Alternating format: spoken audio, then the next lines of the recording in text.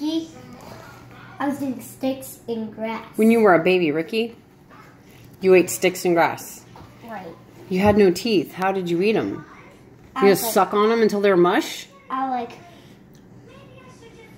like that, and I like like that. Is that why you're so healthy? Because you ate sticks and grass as a baby? Nope, Then why do they call you Ricky Fitness? because I'm so fast. Oh. Because I have super speed like Flash So and Catboy. does Ricky Fitness eat donuts with sprinkles? From a donut place. Sometimes? I'm. That's not healthy food, right? Right.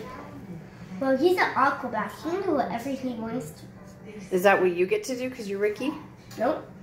You still have rules to follow? Yep.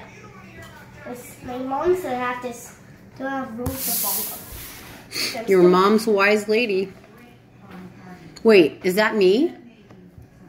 I'm Mom Ricky Fitness? And well, Ruby's a cheetah because she has a tail. Well, Mimo's Grandma Ricky Fitness, and that's But Mimo doesn't move very fast.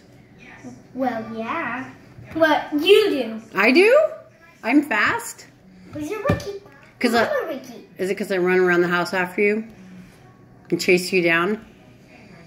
I chase you down. I chase you down and I tickle you. I like that when you do it. I know you do. Where's all your hair?